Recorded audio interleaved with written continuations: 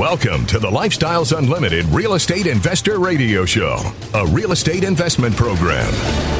Listen and learn how to use real estate to build wealth and passive income streams for you and your family. We bring you experts every day to discuss and answer your questions on everything from single family homes all the way up to 600 plus unit apartment complexes. And now, the Lifestyles Unlimited Real Estate Investor Radio Show. Welcome to the show. This is Andy Webb with Lifestyles Unlimited, and as always, we're working on your financial freedom. Hey, and I had the question the other day from someone, a very, very broad question, and simply put, very succinctly, it was what is better, cash flow or capital gains when it comes to a real estate investment? What is better, cash flow, that that asset is kicking off cash every month, or capital gains when I buy it over the course of the hold, etc.? And that's a hard question to answer. Again, it's very broad, and really it, it depends on your goals. What is it you're trying to do by way of your investment in that asset? Now, I would ask you, why not have both? Why, why not have both? And when we invest in real estate, residential rental real estate, single family houses, or apartment communities, uh, we, we do often have very much of both cash flow as well as not just capital gains, but equity that we create over the lifetime of that hold. Forced appreciation in the example of apartments where I can go in and really make some changes and push up the value. That's a type of gain that I'll see when I finally dispose of that asset or do a cash out refinance. But really, it, it, does. It comes down to your goals. It comes down to your capital, where you're starting, and and so on. And and this very question actually dovetails very well with a with the show we did last week. I was looking at an article with you this type of article typically comes out at the start of the year, setting goals, doing stuff like that. And in particular, we looked at eight steps to creating or, or building or increasing, I should say, your net worth. And uh, you can go back and listen to that show. That's at lifestylesunlimited.com. That's archived on the radio tab. Click on our podcast there. So we looked at the capital gain or the, the equity, the wealth building side of that equation. And during the course of the show, I realized, hey, let's, we're going to come back. We're going to look at cash flow. And, and, and again, I got that very question, which is better? Well, you might ask yourself the question if you're carrying debt, which is going to help you more? Now, really, both can help you. If you think about it, you can convert that equity into cash flow at some point, of course. But today we're going to focus on cash flow. Cash flow is what's going to really get you to that financial freedom that I opened the show with. So, again, last week we looked at growing that net worth, uh, fueled by an article that I'd come across. This week, we're going to look at cash flow. Now, I was curious what kind of articles are out there in the internet related to that very topic of creating extra cash flow. I just did a search and I'm not going to go through any articles with you on that topic, but almost every article that I did dive into because I wanted to see what they say, almost every single one of those mentioned rental property among sundry other things. And of those sundry other things that they mentioned, many of those were not passive, doing things actively to create that cash flow, which sounds like a second or a third job to me, which is not what I'm what I personally am looking for. But again, rental property. Investing in rental property was in every article that I looked at. So you can do your own search, get out on your favorite search engine. We're going to talk through that notion of cash flow today, creating extra cash flow. I've got a couple of ideas for you to use when you approach this to maybe help you take what may seem a very daunting task and, and break it down into more, let's say, bite sized chunks. And in fact, one article I did come across, which I'll bring up briefly, concerned very specifically paying off one type of debt. I'm not going to, again, dive into the depth of that uh, particular article, but I want to use it as a, a good segue to the notion of what we call cash flow chunking. So we're going to get to that. But I want to start with a more of a macro picture and some of the news, some of the things that's happening that are, that are happening right now in the United States. We'll get to a big statistic that came out just a couple days ago but before I get to that one, I want to talk about wage growth because when you think about cash flow, when you think about having more cash flow in your life, certainly that's one place where you may think first, hey, I, my job, where I'm working, can I get a raise? Can I can I see higher wages? Maybe work overtime. And I was curious. I said, okay, what, what do we see? What has been going on more recently since we've started to come out of the pandemic? We hear about the great resignation. We hear about labor shortages. We hear that wages are ticking up, but what does that actually look like? And very interesting site for you. I'll caution you. if you're a guy like me and you like the sort of statistical stuff, it's a rabbit hole. so handle with care. But if you go to the uh, website for the Federal Reserve Bank of Atlanta, they've got what's called a wage growth tracker, and it's got data through November of 2021, so reasonably current, I would say. And in particular, you can select any number of data sets. And, and I started to go through this, and I just want to give you a couple of these data points. And we're going to tie this into another number here in just a moment, which I think will be very eye opening for you. And the overall, this is across everybody every industry, everything that they look at, the overall wage growth year on year, November 2021, 3.7%. Now, I can remember doing shows a couple years ago on wages, on bonuses, or not bonuses, on, on merit increases, raises, that sort of thing. And that's about the number we saw back then. So it doesn't seem terribly changed. Now, if you dive down into the statistics, which you can do, you can really drill down here on this wage growth tracker. The older age group, older cohort, 55 plus, 2.2%. Well, as you get into those golden years and you're thinking about retiring, you need more cash flow, not less. You want to continue to plump up that, what? Retirement account, supposedly. We talked about that last week as well. 2.2% growth year on year. 25 to 54, big bucket, 3.8%. So we're fairly reasonably represented in that overall number. Who's seeing the big wage growth? Ages 16 to 24 at a whopping 10.1%. Now, we've talked a lot on the show about the the great resignation. A lot of those that are resigning or leaving their jobs voluntarily are in those lower paying hospitality and leisure roles, and they're just rolling into the next one that does pay a little bit more. We've heard about the push to to raise the federal minimum wage hasn't fully gone through, but a lot of companies are taking up the minimum wage, even up to $15 an hour. We're seeing that there. We're, we're seeing that in that number. What else are we seeing? Now, from the files of Del Walmsley. We've got all these people that are struggling wanting something to happen. But it's a problem that does not exist in our society. So it can't be solved in our society. Well, what do I mean by that? Well, if you go to financial planners, these guys, they're talking to you about how can you make some financial moves and adjustments so that 40 years from now, or by the time you're 65 years old, you'll be able to survive. Now, that is their problem and they have their solutions to solve their problem.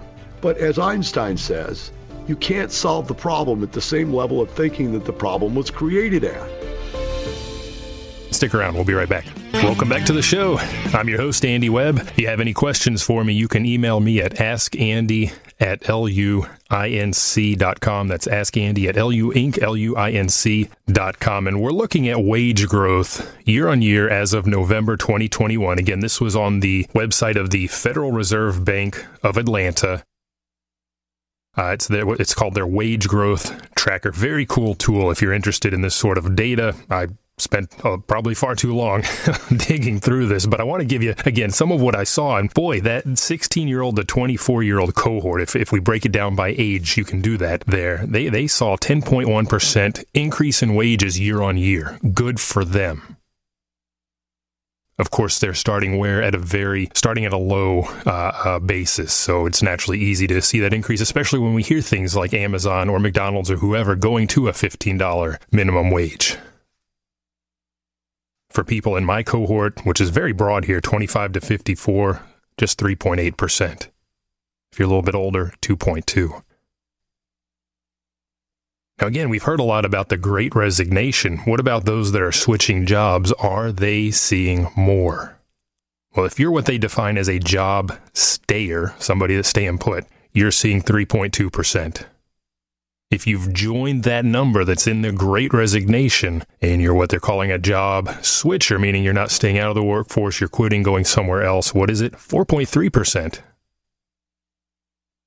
Not even a terribly big number in my view, certainly better than the overall average, which is 3.7. Industry to industry doesn't change a lot, 3.3 to 3.9%. So not a not a broad uh, differential there, depending you know based on your industry.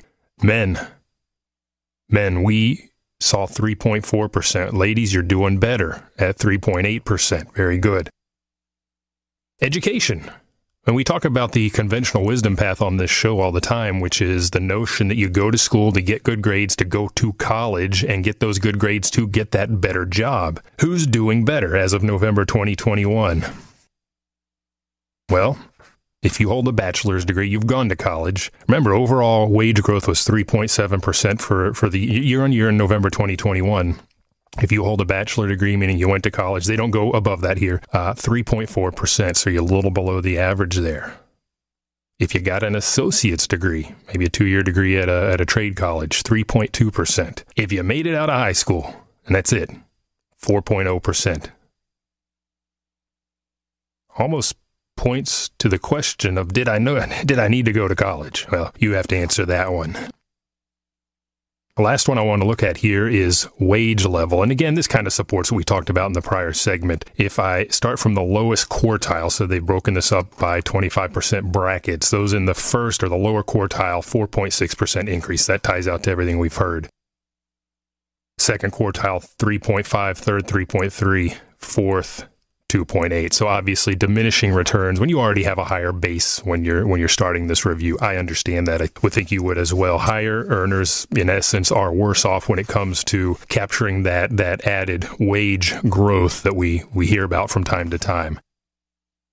For you, maybe there's a different direction you need to go. And especially when you hear this next number, and this next number may blow you out of the water. You may have heard it already. It's the largest we've heard in 40 years inflation.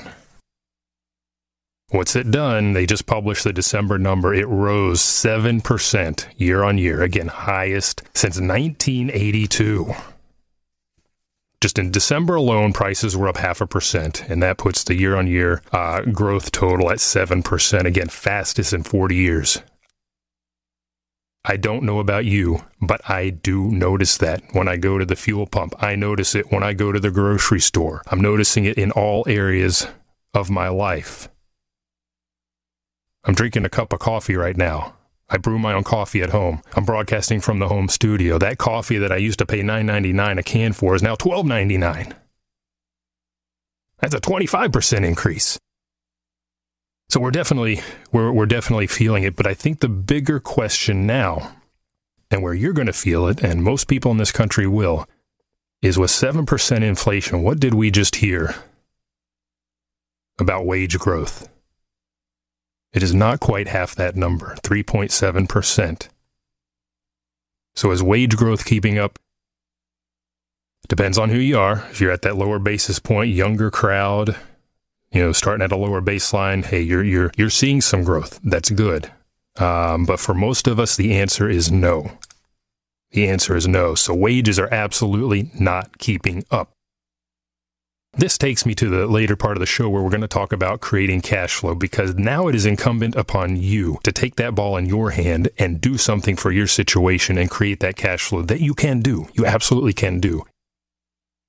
You know, my wife and I, when we joined Lifestyles Unlimited about 10 years ago, it was specifically with that very goal of creating cash flow. At the time, my wife did not like, in fact, she abhorred, hated, just despised her corporate job and she needed to get out. It was it was taking tolls on her health, literally.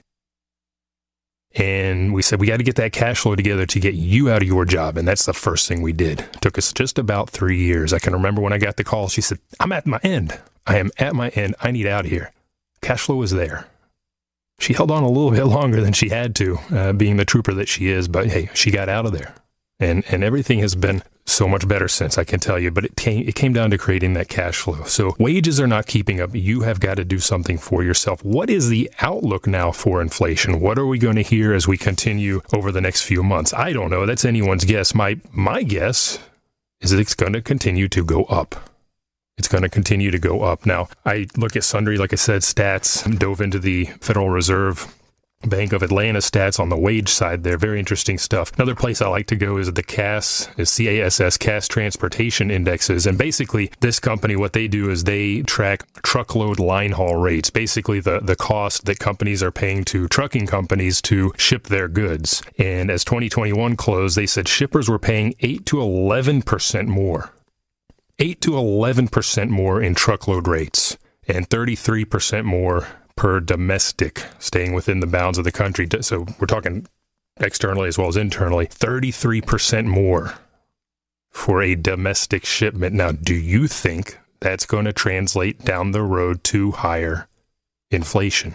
Anyone's guess. I suspect that it will. What do they expect? What is the outlook for freight? I'm just turning the page here. They suggest that there are challenges to the industry in terms of capacity in particular. In fact, it's worsening again as as as the year 2022 begins, and they're seeing absenteeism surging across drivers, maintenance staff, as well as personnel um, at the transportation companies, and they expect they expect a hit here. So, what do you expect? What do you think is going to happen? You need to ask yourself that question and take some steps to prepare. Whether it's just simply shoring up the the gap now that we have in terms of our income and inflation and the cost of everything that we buy in our lives, or getting out of that job that you despise, much like my wife did now, what is it, seven years ago, you've got to take some action. And what I want to do with the balance of the show now is work on giving you some tools, just some mental tools, some things to help you think about cash flow and your your monthly expenses. We're going to head into a quick break. I'm going to hit one more article here, just very, very upper level, that's going to be, be the real segue piece to get us into cash flow chunking. So stick around. Welcome back to the show. I'm your host, Andy Webb. If you have any questions for me, you can send me an email to askandy at luinc dot com. Again, that is Ask Andy at L-U-I-N-C dot com. I, I do answer those personally as quickly as I can. And I love to have your questions because it fuels ideas for, for the shows for me as well. I have a lot of very well thought out, very thoughtful questions. If you want to learn more about Lifestyles Unlimited, go to lifestylesunlimited.com. You can catch our past radio shows there. You can read a lot of content. There are a lot of articles posted out there on various topics. Whatever it is you need to know. Is it what is a hard money loan? How does that work? Protesting my property taxes. A lot of great articles articles on that topic. That will be coming up, won't it? Are we going to see some inflation there? Ooh, you bet, you bet we will. Lots of other information out there as well. Go to lifestylesunlimited.com. And while you are there, you will see a little yellow button that says free workshop click on that. It's an hour and a half of your time, and we'll go into what we do at Lifestyles Unlimited, and we'll talk about investing in single family houses as one option, we'll talk about multifamily apartment communities as, as another option. So you can give you some numbers around that so you can really see how those play into the topic we have today, which is adding more cash flow to your life, creating cash flow. And again, we talked last week about the other piece. You know, we make money five ways in our real estate investments. That's that's why I love this asset class. It's it's the cash flow that we're talking about today, which is the thing that retired my wife and got her out of that job she abhorred and has gotten so many other investors that I know to their financial freedom and to early retirement. They are real estate retired. But aside from the cash flow, there are sundry equity plays in there. We we buy right, so we're getting most of these assets at a discount and we're capturing equity. That's just protection, that's buffer while I hold the asset, but it's immediate wealth that goes to my balance sheet. And then when I sell or do a cash out refi down the line, I have more cash to, to use to, to dispose of to then invest in more assets. And while we're in that hold period, we've we've got equity buildup as our residents pay the mortgage for us because we do leverage these. I can go a lot farther across many properties with hundred thousand dollars, let's say, than if I pay hundred thousand dollars all cash for one.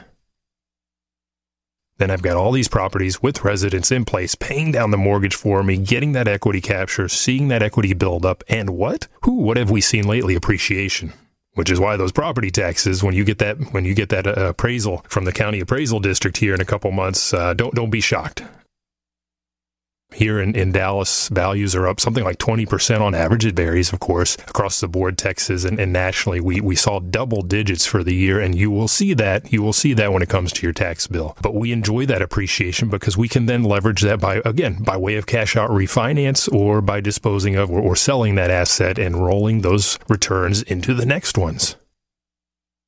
Which, what does that do for me then? Create more cash flow. This thing feeds itself. I already mentioned a term, cash flow chunking, which we're going to segue into now. Later on, we're going to talk briefly about what the cash flow snowball, because I'll tell you, when you start to set these things in motion, they start to roll and they roll faster and faster and faster. And before you know it, you have hit that finish line. You are financially free and you can be real estate retired. But let's talk about little bit of a mindset item here first and foremost. So, last article here for you. This was in MarketWatch um, just yesterday, in fact. And it caught my eye. Its title reads Who should and should not consider using a personal loan to pay off holiday debt? Again, this was published uh, on the 11th by Alyssa Wolfson. And essentially, in a nutshell, what it's talking about is replacing high interest credit card debt. If you went through the holiday season, you know, I've got a five year old now. His birthday is very near Christmas. So we're, we're, we got the double whammy going on here. And if you're like me, you, you put, you, you fund those gifts with the credit card. Now, I don't let that thing go on. We pay that off immediately. It's just a form of payment. But if you are not able to pay it and you're, you're, you're dealing with that and it's rolling on and on and on, you know it's a high interest debt. So they're suggesting that, hey, maybe consider getting a lower interest personal loan to offset that. And they go through some pros and some cons here. I'm not going to get into that with you, but I do want to get to one, one thing they say consider alternative solutions.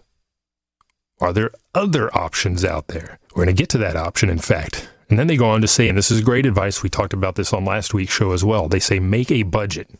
Now they're talking about forward looking for the purposes of the next holiday season, right? Or whatever it is that you have on your plate to buy. Make a budget so that you can avoid even considering this notion of personal loan or whatever it is you think you need to do to clear that debt. And then they talk about making a different plan. So I'm going to roll all of those together and talk about something that we at Lifestyles Unlimited call cash flow chunking. By the way, again, making a budget, we talked about that on last week's show. Good, good policy, good thing to do. In fact, we focused on that enough last week. I'm not going to dive terribly into that here. Having that budget in place or, or at least tracking your, your monthly expenses by, by upper level category, it's going to help you do two things. And we'll, we'll get to that here in just a moment. And it will help you with chunking. Now, what is cash flow chunking? I'm going to give you an example from my personal life to help you understand that. And, you know, you, you, may have heard me broadcast in the past from what I call the RV bunker. I'm in my, my home base today, but sometimes we travel around in, in an RV and I do my broadcast from there from various locations. I have a blast while I'm at it, I'll tell you that. Well, when we picked that RV up at the end of 2019, I had some choices to make. Pay all cash. This was an entry level, not $100,000 unit by any means. We could have paid all cash or finance it. Now, this RV was about $23,000 out the door. Payment, monthly payment, because we did finance it, $227 a month. Nothing massive. Instead of putting all cash into that RV, $23,000, we said, you know what? That's opportunity cost right there. As soon as I do that, that money is gone. It's not yielding me anything. Typically, RVs are depreciating assets, although in this current environment, like used vehicles, it's actually gone up. It's it's it's a little mind-boggling. But despite the 8,000 plus miles we've put on it in in the in the past couple of years, it's gone the other direction. But normally, it is a depreciating asset that is yielding me zero financial return.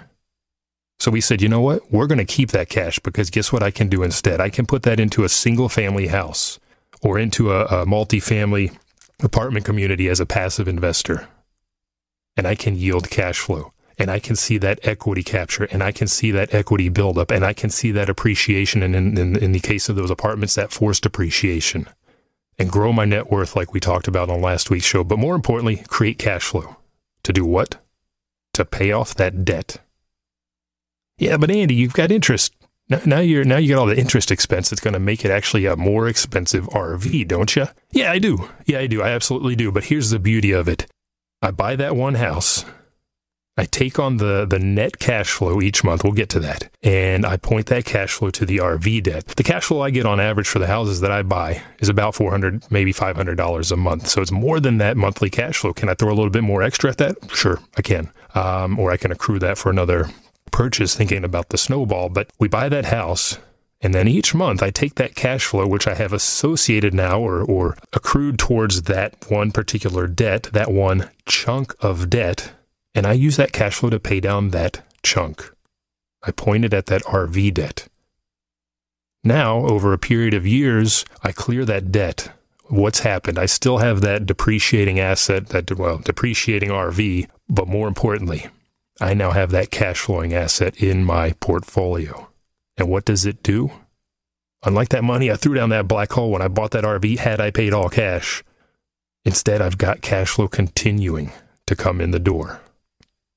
And in the meantime, that house has appreciated. I can do a cash out refinance. Maybe I want to sell that, do a 1031 tax deferred gain or sale, defer the taxes on the capital gain and roll those in the next couple of properties and create even more cash flow. You create so many options when instead of simply paying cash because I want to avoid the interest expense and I feel more secure, I just don't want to have the debt. you take on that cash flowing asset instead. So, cash flow chunking in essence is finding discrete pieces of your P&L, your, your, your outbound cash, and finding cash flow to match to that. What can you chunk? That RV payment is an example. Your car or your, your monthly truck payment, your mortgage payment, your student loan bill that you pay every month, your monthly grocery bill, that daycare expense, utilities. You bucket it in a way that makes the most sense for you, which takes us back to that budget. You need to know what's going out in order to assign cash flow that's coming in. So stick around. We got one more segment, and I got a little bit more to share, and I want to get into that cash flow snowball as well. Welcome back to the show.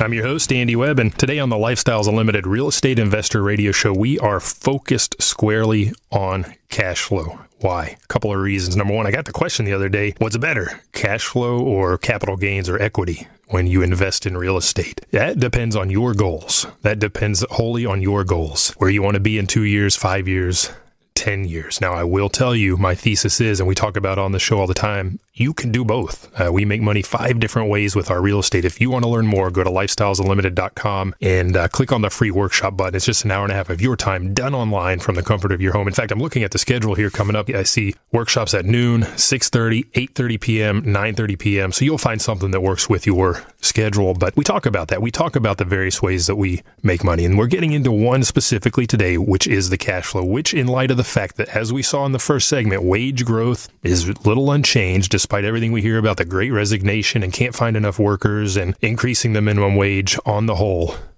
it's nothing phenomenal. Nothing stupendous unless you're in that very young age bracket where they are taking up the minimum wage. We're seeing 3.7% wage growth as of November 2021 year on year. Hold that against 7% inflation year on year for December. There's a big gap. There's a big gap, but you can close the gap. You can close the gap by creating cash flow. You know, if I think back 2014, I remember the year very clearly. The place where I worked at the time, I was not doing well. Uh, this is a global company, and because they were not doing well, there were no raises that year. I was irritated. But that year, I bought five single family houses. I gave myself, I don't know what it was, 20, 30K raise that year on my own. So, company, you know, I looked at them, I smiled, and I said, okay, you know, the end's coming. It's coming soon created my own future by creating that cash flow by picking up those assets. You can do the same.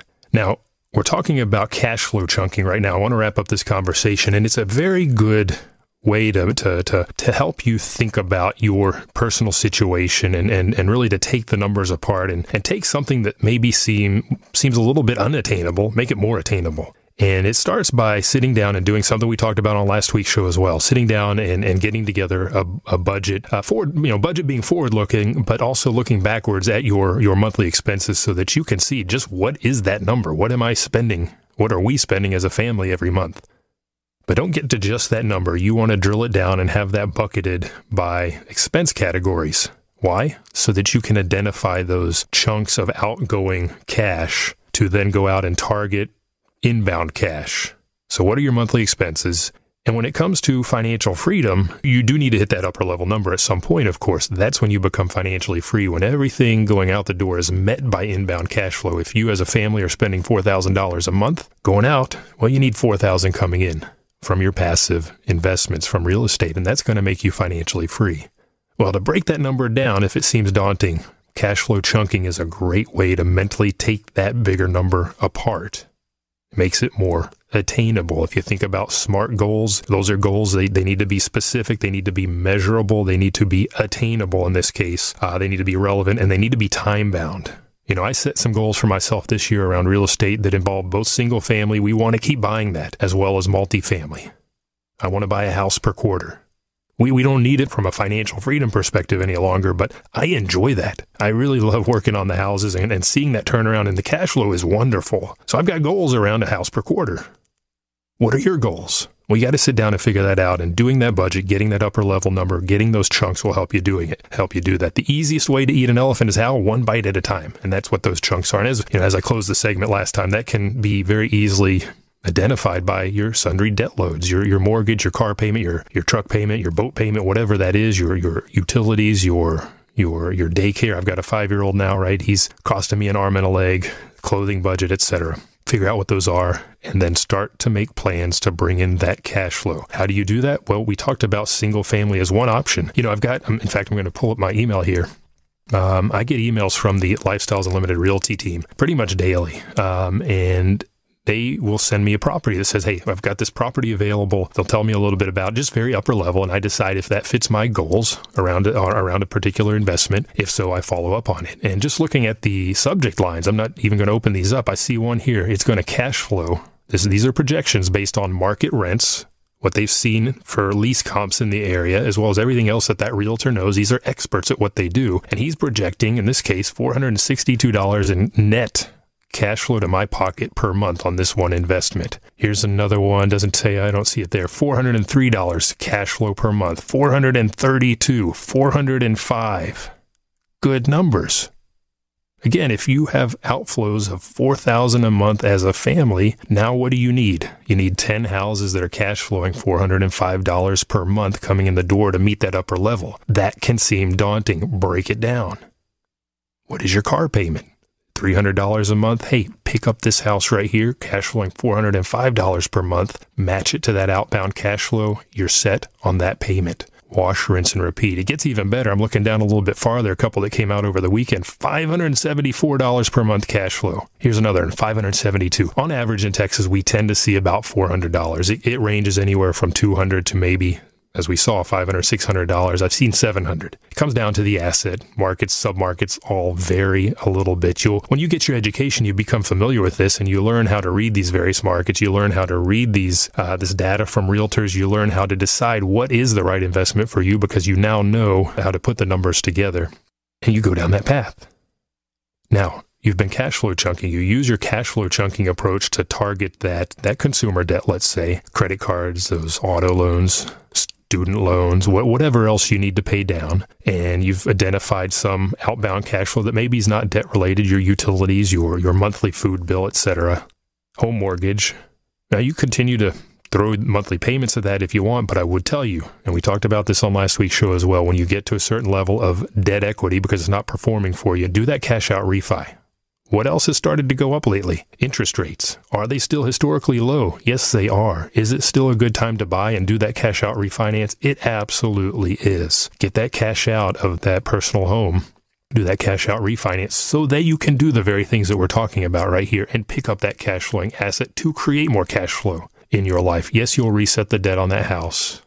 Yes, that mortgage payment may go up, but your net gain across your portfolio of assets and debts will be positive if you're doing it right.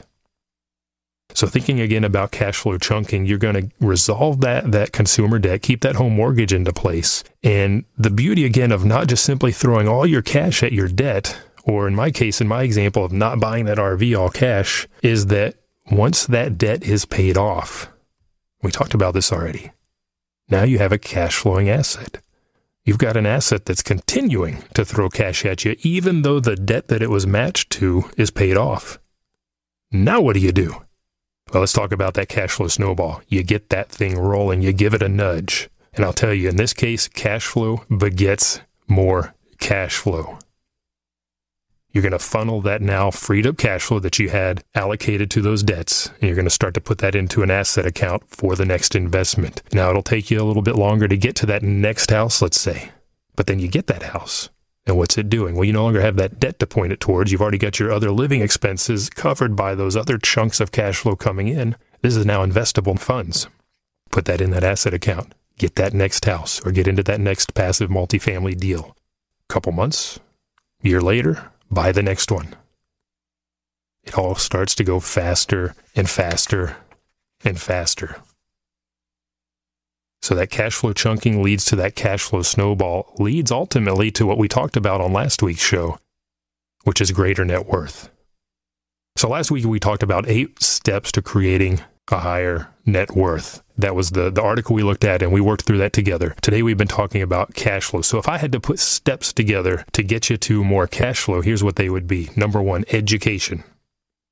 I already mentioned the Lifestyles Unlimited website. You can go to lifestylesunlimited.com, click on the free workshop button to learn more. As well, I want to make you aware coming up mid March, great place to go to get education is our Wealth and Passive Income Expo that's going to be in Houston, Texas, March 16th through the 19th. Passes are on sale now. You can go to wealthandpassiveincomeexpo.com. Again, wealthandpassiveincomeexpo.com to learn more, but multiple days where you can start to work on that education around investing in single family or apartments, whatever it is you want to do. There are so many breakout sessions, so much to learn, so many people to meet. Network is very, very important in this game. You will come away resolved. You'll come away with your passive income plan in hand in order to do the things that we talked about today. Education, number two, figure out that budget. Identify that upper level monthly outflow as well as those chunks. Number four, set some goals to pick up cash flowing assets to offset those chunks, clear that debt. Number six, then finally give that cash flow snowball a firm nudge to get it rolling. And this will dovetail again with last week's show, building that net worth. Now, from the files of Del Walmsley. 20% of the activities you do in life produce 80% of your results. That's his efficiency ratio. Now, it's obvious in life if you can do more of the 20% that makes a difference and less of the 80% that doesn't, you can be more successful. So it's that line. Here is the line. You live, let's say there's a line where you are exactly an 80 20 person. Successful people are more like 30 70. Unsuccessful people are more like 90 10. What I mean by that is the people who are unsuccessful spend 90% of their time doing stuff that means nothing and only 10% of the time doing something that's effective. Very successful people spend 30% of their time doing something effective and only 70% of their time doing something ineffective. Thank you for listening. You've been listening to the Lifestyles Unlimited Real Estate Investor Radio Show. You have a good day.